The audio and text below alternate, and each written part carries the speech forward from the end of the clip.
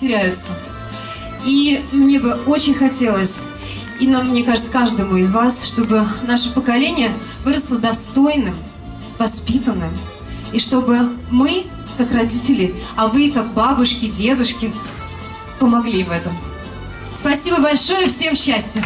Ура, спасибо. вам. Спасибо.